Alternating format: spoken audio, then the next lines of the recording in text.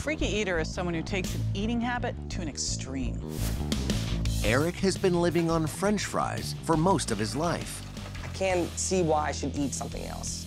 Each year, he eats over a thousand orders of fries, 20 times more than the average American, and consumes six gallons of grease. No one else eats more fries than me. I'm the fry guy. And he has no desire to change. Fries don't affect me. I'm fine. But his mother disagrees. His life is on the line. Can experts Dr. Mike Dow and JJ Virgin convince Eric to change his ways? What does it feel like to you? Lunch. Before he destroys his health for good. You already have heart disease going on. I don't want my son to die. He is killing himself with every bite of french fries.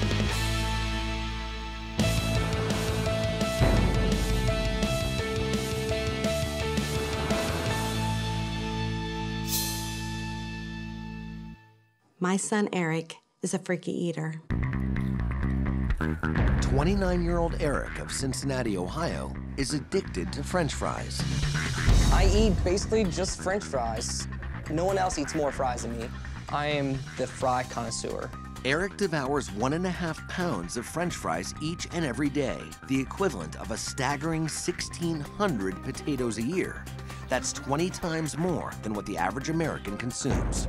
The perfect fries, basically crispy on the outside, soft on the inside. My mouth waters when I see my fries. Ever since Eric was a baby, we have always struggled with getting him to eat. We would bribe him to eat. It never worked. But we did find that he would eat french fries. We took Eric to doctors and psychologists. They would say he'll grow out of it, but he never did. Eric's fear of food took over his childhood. When there was pizza parties when I was a kid, I was never really invited because I didn't eat pizza. I do wish I could eat pizza because then I could be a little more normal. Eric lives with his fiancee, Anne, their son Maximus, and Anne's children, Miles and Sophia.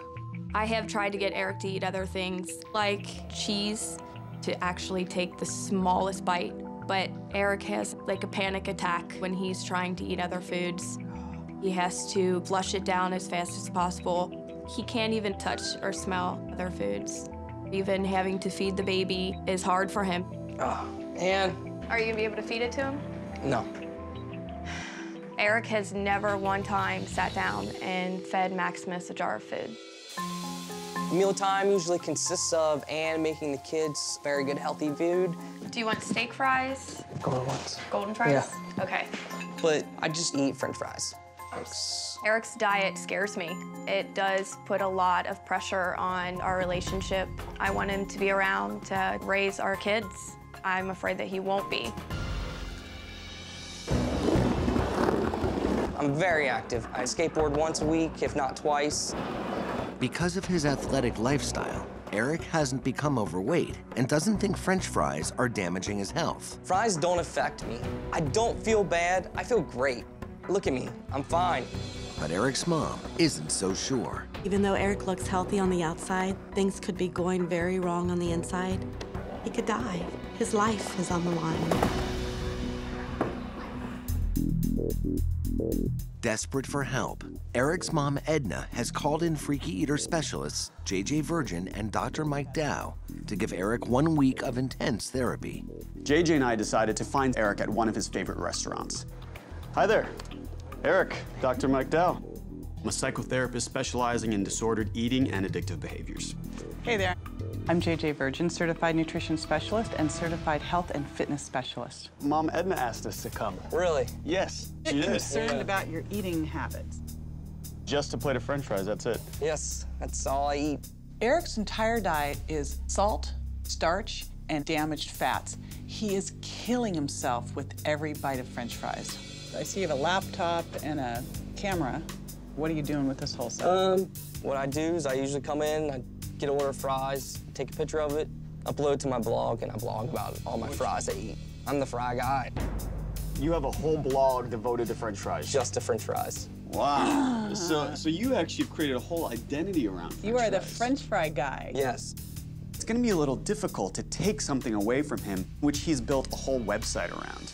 Let's hear about your family life. They do They french fries all- too? No, they're all very healthy eaters. So what do they think about dad? You just tell them that you just love french fries? Actually, we kind of lied to them and tell them uh, I'm allergic to other foods.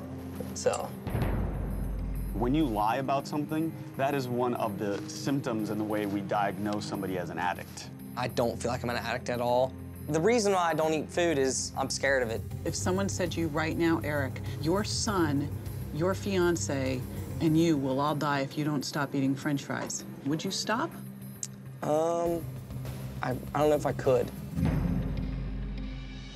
We know we can help you change if you are 100% on board. There's a few things that JJ and I would like to show you. Okay. I feel like I cannot change. Coming up, the experts serve up some shocking news to Eric. Who eats this many fries? You do? Eric eats virtually nothing but french fries I'm the fry guy. and is fearful of other foods. He can't even feed his infant son, uh, And and his fiance is at her wits' end. Eric's diet does put a lot of pressure on our relationship. Dr. Dow and I wanted to show Eric the enormity of his french fry habit, so we took him to a warehouse. Hey there, we had to bring you to a warehouse because we needed that much space to show you the extent of your french fry habit. Eric needs a dose of shock therapy to really come to terms with just how bad it's really gotten. You're young and active, so it seems like you're healthy, oh, right? yes, Of course, I said seems. French fries, starch, salt, fat. This is the worst type of fat that you can possibly eat. It's trans fat. It's fully loaded, as we would call it. We showed him six months worth of grease, three gallons that he's consuming. How does it look? uh, disgusting. It looks like it should be in the dump, man. That's right. That's what's really going in your veins. I want you to put your hand in that. Put my hand in there. Oh, Yep. yeah. I mean, you should be okay putting your hand in there. You're eating it. It was disgusting. So what's that like knowing that that is in your body? Not good. Is this changing your cravings?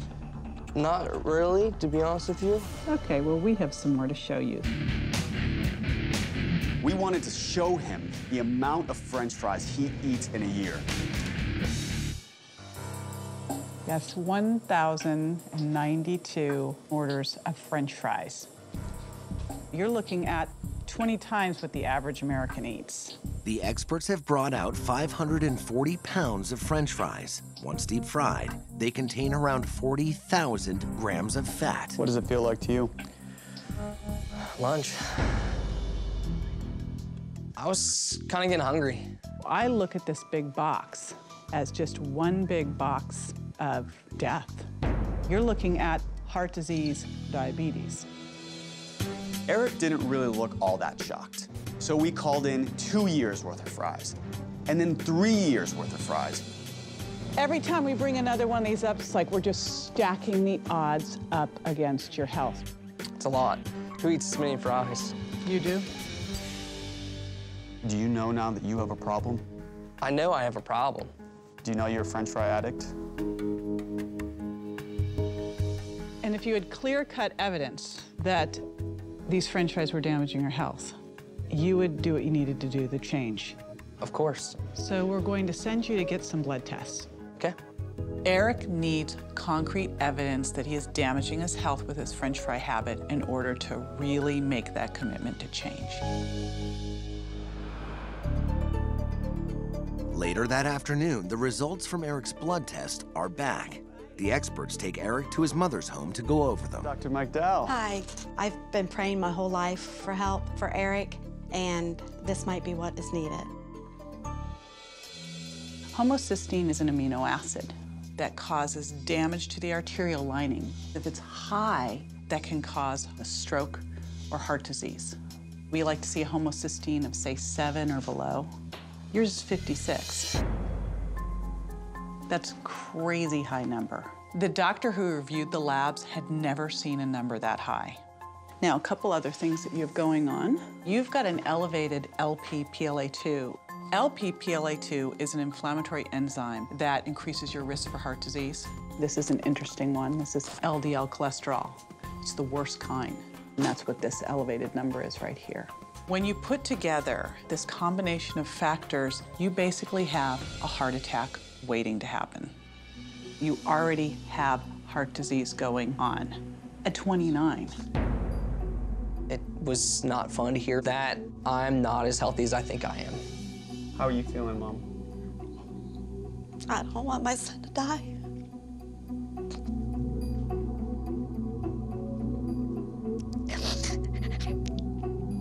It's hard to hear that, you know, someone you love may already be at very high risk for heart attack. But it's not too late. So what is happening to your motivation now? It's gonna push me to uh, change. Why? Did you see my mom sitting here? Hurt me. I mean, I can change. I just, I want to be able to eat other things that I don't eat. Eric has the motivation to change, but he lacks faith in his ability to actually do this. We wanted to give you one more test. Food psychologists have been studying why people are picky eaters. They've discovered that there's a subset of the population, and they are what we call super tasters. A super taster is somebody who has more taste buds and who is more sensitive to foods. They will therefore avoid new tastes and new foods. Let me give you one of these super taster strips. The super taster test has a chemical that only super tasters can taste. Almost made me get, uh, yeah, that was not good. What do you taste in the back of your throat?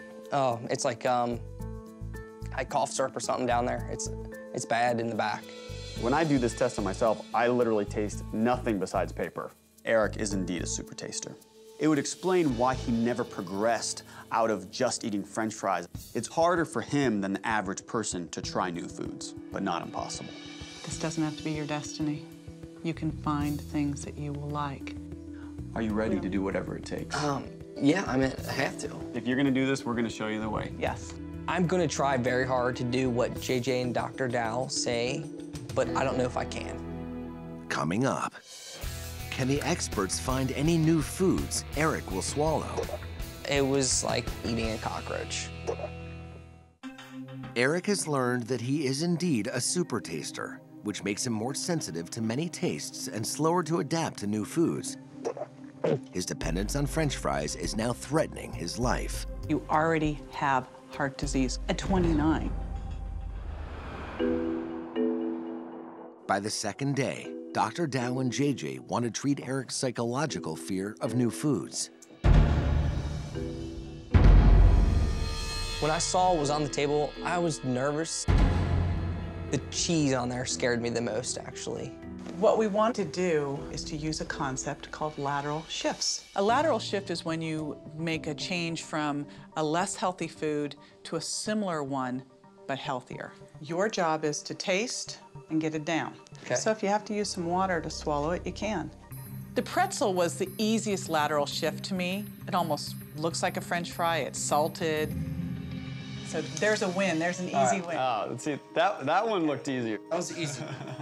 Okay. Eric doesn't get any protein in his diet. So JJ and I had Eric taste almond butter. Let's go ahead and swirl the pretzel into the Okay. almond butter.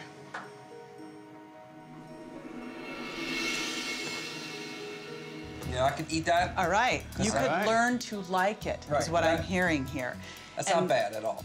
I wanted to push him a little bit harder. Eric likes crunch, so I decided to add a little bit of cheese to a pita chip. I thought if I gave him enough crunch with the chip, he'd be able to handle the texture of the cheese.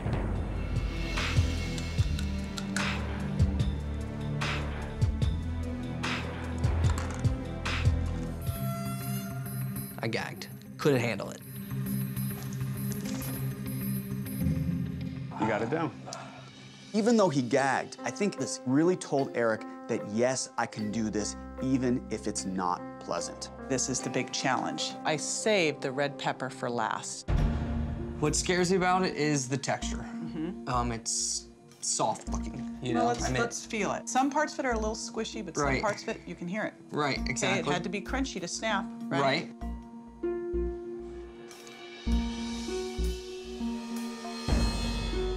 The flavor that was there, it was not good. It would be like any other person eating a cockroach. The texture really didn't bother me as Okay. much as the flavor. So now we know that crunchier texture works. Now how do we take that and find some taste within that you like? We know the end goal. Right. We will get there if you can be open. You can understand that the worst thing that happens is you don't like it. Right. Not a big deal. The main message we wanted to get through to Eric is that he's got to try a lot of foods. Yesterday, I ate only french fries. Today, I eat french fries and almond butter. It's a step in the right direction. After two days, the experts are leaving Eric to continue moving forward alone. So it's time for us to leave you for a couple of days, but we have some homework. Okay. You're going to feed your son. If he were to sit down and feed Maximus a jar of food, he would get grossed out. His mind won't allow him to do it. Now, I also want you trying five new foods a day. Okay. The hardest thing for me to keep up with is gonna be trying five new foods. And finally, you're a blogger. All right. We actually want to use that and blog about this, creating this new identity for yourself online. We're going to strike a deal with you. All right. We gave Eric a lot of homework. He's willing to break out of his comfort zone. So are we. You experience new things this week, and when we come back, we'll try skateboarding. Deal? Deal. That's a deal. Deal. All right, Okay. cool. Eric has to take this seriously. His life is on the line. Coming up, Eric still can't handle cheese. But can the experts get him to take a bite of pizza? I don't like touching pizza. Hi, Eric. Go ahead and swirl the pretzel. JJ and Dr. Dow have provided Eric with the tools to overcome his french fry addiction. They've left him for the next four days so he can continue progressing on his own.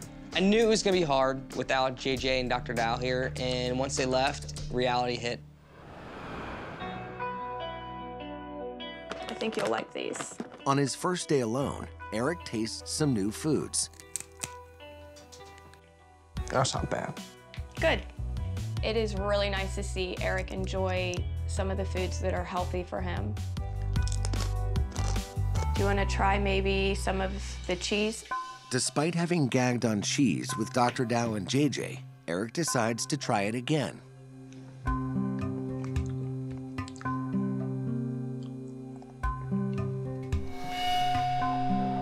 The cheese didn't feel right to me, so I had a gag. What was that like? Was that really bad? Uh, once got to the back of my throat, yes. I am so proud of Eric trying the new foods. He's doing better than I thought he would. Anne is also impressed by what Eric is not doing. I haven't made him any french fries. I haven't seen him eat french fries at home. Come here, you're good. On his second day, Eric begins to blog about his journey to healthier eating. I do realize why Dr. Dow told me to put stuff on my blog about my new foods, just to let everybody know, hey, he doesn't only eat french fries.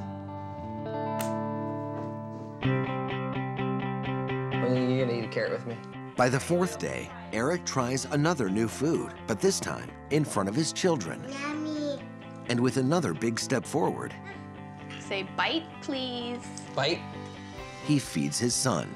I was very proud of Eric that he was able to pick up the spoon and feed Maximus. One more. It's been tough feeding Maximus, but it is important, so I gotta do it. Seven days after Eric first started therapy, JJ and Dr. Dow have returned. They take Eric to an indoor skate park for one final surprise challenge. We got the whole family here. we were so pleased with Eric that we wanted to give him a pizza party with his family. Eric has never eaten pizza before. I was kinda anxious and a little worried I wouldn't be able to eat any of it. I got thin crust, very crunchy pizza, so it's almost like having a cracker pizza. If Eric can just take a bite of this pizza, it's gonna open up a whole new world for him. We're gonna start out with just totally plain, this doesn't even have sauce, it's just cheese and crust. Okay.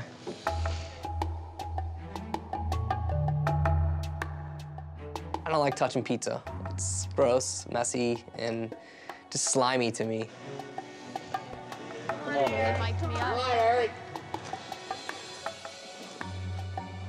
I did not want to take a bite of it.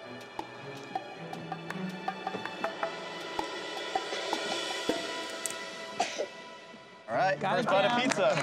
Awesome, babe. Seeing Eric take a bite of pizza was like my dreams come true. Something I thought I'd never see. Having my family there was very important to me. Pizza was a big hurdle, but it's probably something I will tackle again in the future all right, guys, it's time to go skate. You did all the things we asked. I guess we could uh, do the same We're up for you. for it. All right. Okay. Sounds good. After all we put Eric through, it was fun letting him turn the tables on us. Step straight up and put that back foot on. It'll continue to be a difficult road for Eric. But I also know that JJ and I have given Eric the tools to overcome this french fry addiction for the rest of his life, I hope. The harder you... My goal is gonna be eating one new food a day. I know it's gonna be hard, but I just gotta keep going forward. Bend those knees. Bend those knees some more. Eric's been eating almost nothing but french fries since he was two years old. He's made great strides with trying new foods. I'm thrilled and very proud of him. Don't discourage, because I'm gonna keep gagging. You guys are gonna keep falling, so keep it going. We're practicing All right. what we preach Cool. all day, All right. right? On Yep. skateboards. Okay.